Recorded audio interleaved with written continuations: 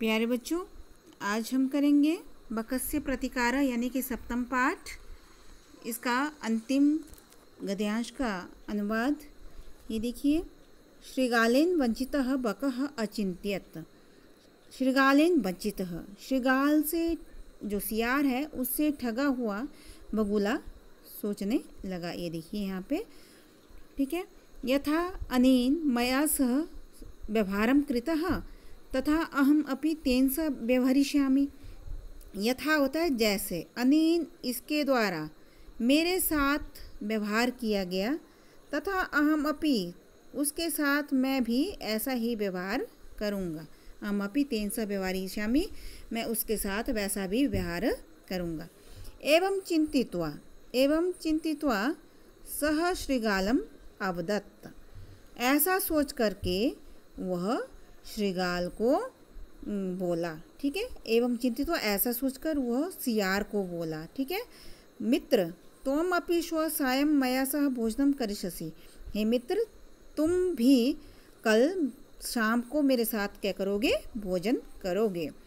बकस्य देखिए, बकस्य निमंत्रण श्रीगाल प्रसन्न अभवत। बकस्य निमंत्रण।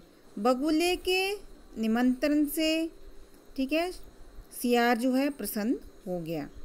यदा श्रीगाल सायं बकस्य निवासम भोजनाय अगछत तदा बक बकः मुखे कलशे क्षीरोदनम अयच्छत। जब श्रियार जो था, सायकाल बगुले के घर भोजन करने के लिए गया, ठीक है? बगुले के घर भोजन करने के लिए गया, तदा बका संकीर्ण मुख है। तब बगुले ने क्या किया? तंग मुख वाले ठीक है?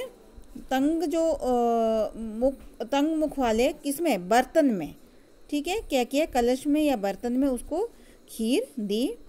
श्रीगाल चंचुआ च अवदत्त। और क्या कहा? उसने कहा मित्र अवाम अस्मिन पात्रे सहे भोजनम कुर्बुआ तो हे मित्र आवाम का अर्थ क्या हुआ? हम दोनों इस पात्र में एक साथ क्या करेंगे? भोजन करेंगे। बकह कलशात चंचुआ क्षीरोदनम अखादत। बकह कलशात। तो बगुले ने कलश से चोंच से सारी खीर क्या कर ली? खा ली। ठीक है? परंतु श्रीगालस से मुख कलशे न प्रविशत। परंतु क्या हुआ कि जो सियार था, उसका मुँह किसमें? उस सुराही में प्रवेश नहीं हो सका, ठीक है? उसका जो मुँह था, उसमें प्रवेश नहीं हो सका, पहुँच नहीं सका। बका सर्वम क्षीरोदनम अखाद और बगुले ने क्या कर दिया? सारी खीर खा ली। श्रीगाला च केवलम ईर्ष्या अपश्यत, और जो सियार था, केवल ईर्ष्या से ही देखता रहा, या वो ईर्ष्या से देखने लगा।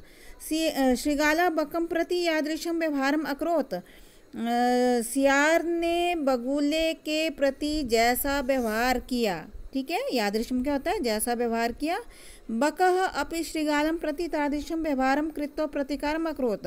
और बगुले ने भी सियार के साथ वैसा ही व्यवहार करके क्या किया? अपना बदला लिया। प्रतिकारम अक्रोत अपना बदला ले लिया। ठीक है? अब अगला है उक्तमापि और कहा भी गया है आतं दुर्व्यापारस्य फलं भवति दुःखदं तस्मात् सद्व्यवहर्तव्यं मानवेन सुखैषणा। आत्म दुर्व्यवहारस्य फलम भवति दुखदम। अपने खुद के व्यवहार के जो फल होता है दुर्व्यवहार का जो फल होता है, बुरे व्यवहार का जो फल होता है, ठीक है, अपने दुर्व्यवहार से क्या मतलब होता है, अपना जो बुरा व्यवहार होता है, उसका फल कैसा होता है, दुखदाई होता है, ठीक है। तस्मात सद्व्यवहारतव्य मानवेन सुखेशना। इसलिए, तस्मात का मतलब क्या हुआ? इसलिए, ठीक है, मनुष्य को या मनुष्य के द्वारा क्या सुख चाहने वाले, सुख सुखेशना का मतलब क्या हुआ? सुख चाहने वाले मनुष्य के द्वारा सदव्यवहारम अच्छा व्यवहार करना चाहिए। बहुत बहुत धन्यवाद।